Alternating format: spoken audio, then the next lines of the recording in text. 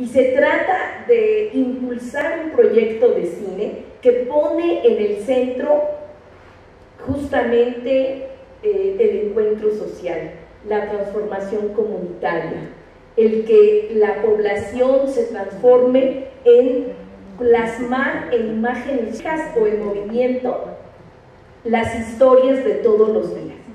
En la mirada que hoy se va a impulsar en esta escuela del cine sea una mirada desde la periferia. Y lo decimos con orgullo. Fíjense, se anotaron más de 700 alumnos. Recordemos que las clases van a ser virtuales en toda esta época que, que no nos permitan los semáforos hacerlo presencial. Y en el momento que entra la utopía, cuando entren a estos talleres, es un trabajo específico con cada joven, con cada persona que entra a un taller de este tipo. Cuando entran a la escuela de cine, queremos que cada día salgan de la utopía transformados.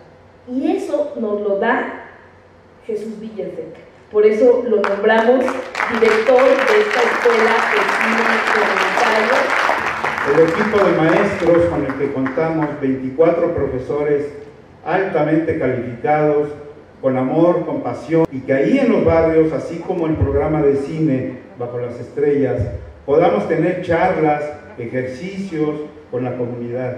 Ahí, ahí, hasta los lugares más escondidos de esta alcaldía, vamos a llegar con proyectos.